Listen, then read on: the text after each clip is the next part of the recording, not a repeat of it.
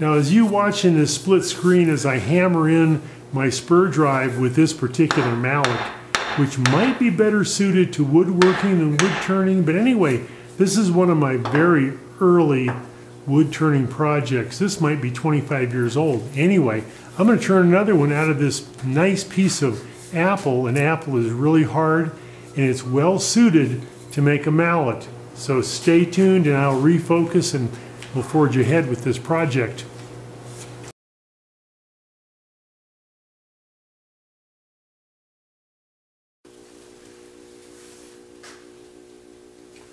Okay, I have my piece of apple chucked up between centers. I've got a spur drive and a live center. And I'm going to take my spindle roughing gouge and make this blank round. That's going to be the first step. Make sure I clear my tool rest. And yes, I'm wearing my protection here.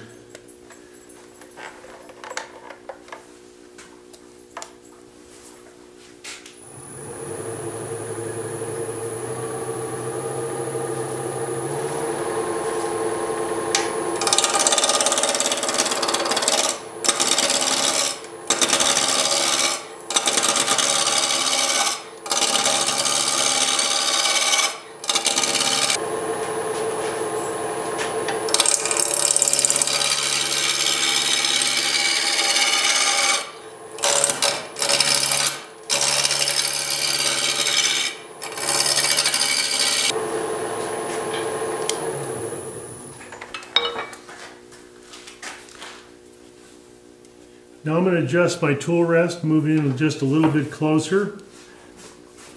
I've got some splits in this blank. I've got a, a branch coming out of there, a knot, and that's okay. It's going to be a working mallet. I'm going to use this mallet in my shop. It's not going to be maybe very pretty.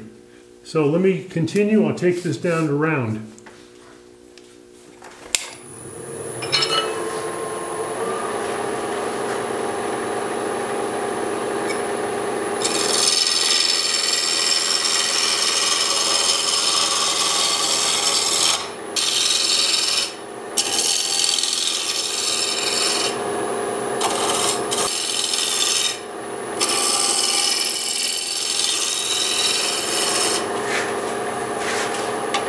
Now a good part of this blank is going to be taken down where the handle is, but just for practice I'm going to take a large skew chisel and just uh, really make that surface nice and clean and flat and then I'll lay this blank out for my mallet.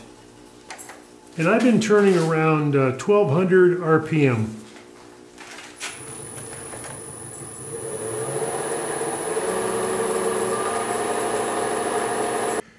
Now whenever I do any video, I do a lot of work off camera. So I'm going to try to show you the highlights of turning this mallet. Here I'm using a skew chisel. And I like to experiment with different approaches and different cuts. Later on I find out that I've got a knot which presents a problem whenever I use that skew chisel. So I'm going to hold the commentary in this video to a minimum and just let you enjoy the tool work and making this mallet.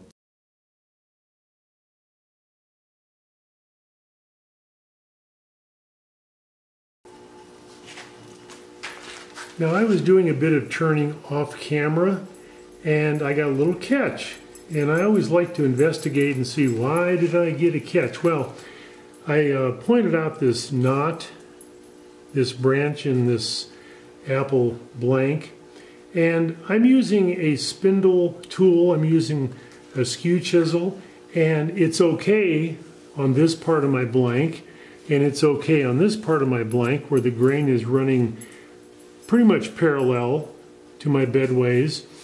You have to consider that this knot is coming straight out of the the piece of wood like my pencil here.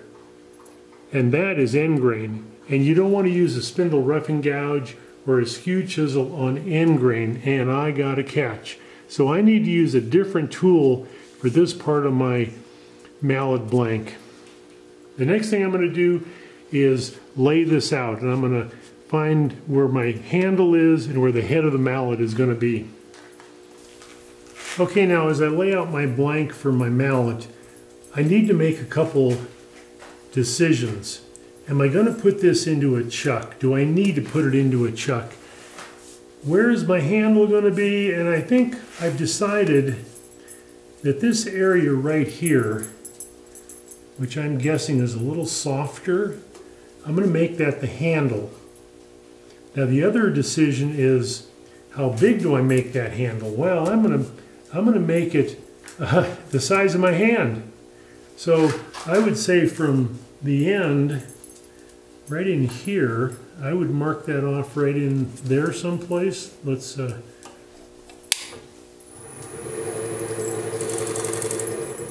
something like that. And I think that's a pretty good proportion. So I'll have this for the head of the mallet and this for my hand, and I can always change that a little bit as I go along. I'm not sure about having this in a chuck. I can decide that later on. So let me do a little bit of turning on this. I'll get this taken down a little ways.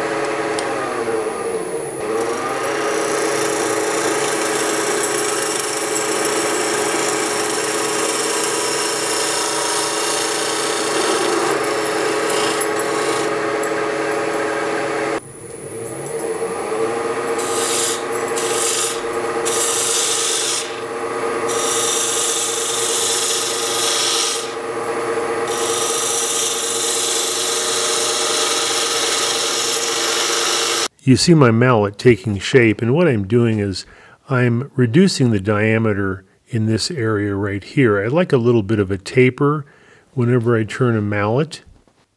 Now, mostly what I'm doing here is I'm using a peeling cut.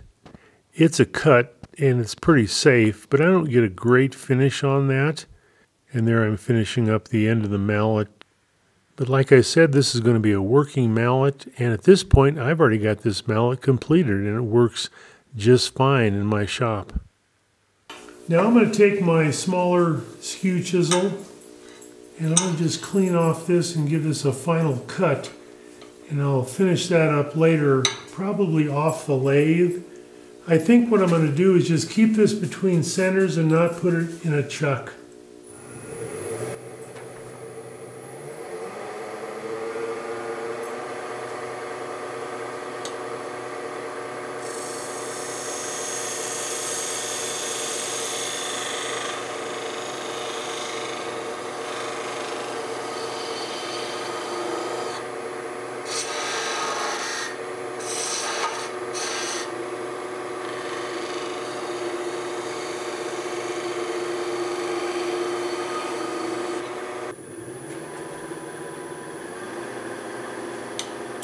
Now I simply flip my mallet end for end and I'm working on the handle. This allows me to do a little bit better job filming this. I just have better access. And you can see what I'm doing a lot better. I'm just taking a spindle roughing gouge and reducing some of the diameter. There I'm working on the end with a spindle gouge. And as I get down a little closer to the final shape, I will use more of a spindle gouge to get a better finish on that. There's a little bit of detail on the transition from the handle to the head of the mallet.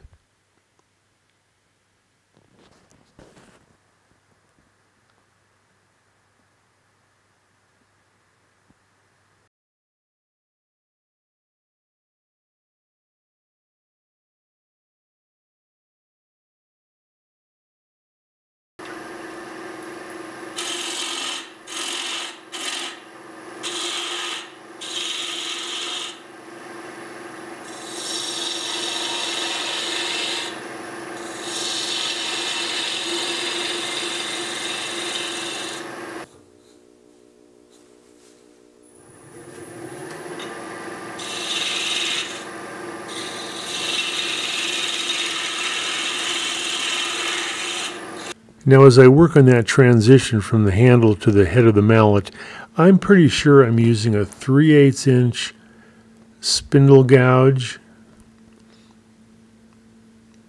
And here's a detail gouge cleaning up the very end of that. And as I go on, I need to reduce the diameter of this. And later on, I'll simply saw off this end and also the end um, where the spur drive is. Now I got my dust collection hooked up here. I'm going to do a little bit of sanding and I've got my camera backed off quite a ways so I wouldn't get it all dusty. A little bit of sanding. Well, sanding is always fun when somebody else is doing it. And really it's not too tough of a job on this mallet. It's pretty easy and you can see the stream of sawdust going into my dust collector hood there. Right there is a good shot, and I'll tell you what, you don't want that in your lungs.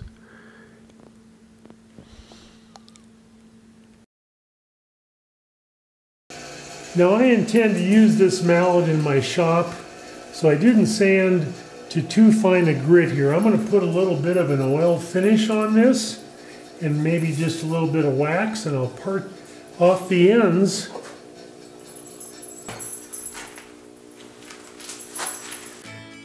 Now I like to do as much finishing and sanding on the lathe as I can because it is simply a lot easier. This is some tung oil I'm applying and off camera I'll apply one or two more coats, a little bit of wax, and I will use this mallet. And as I mentioned before, it's actually done at this time and I, I used it to smash in a spur drive just yesterday. So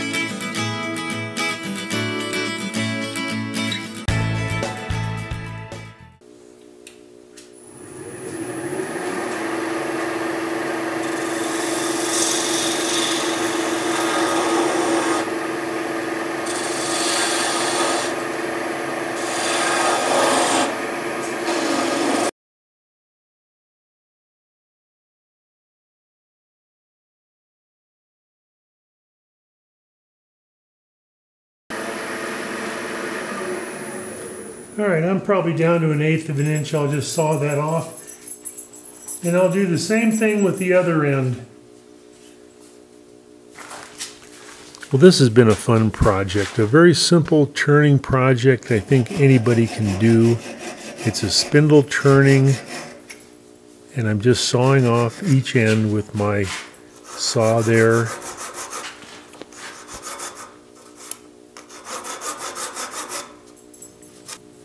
Now I've got a little bit of wood there to take off on the very end and later on I just simply take that over to my sanding center and sand that smooth and put a little bit of finish on the very end of that and the job will be done. Yeah, that's very pretty wood. I like apple and I really appreciate you watching the video. As always, it helps me if you hit the like button and subscribe and and share. Put it on your Facebook timeline. Now this little mallet is a, a bit smaller than most of the mallets I have in my shop, and I think it'll it'll be nice for some operations. So thank you again for tuning in, and I'll talk to you next time.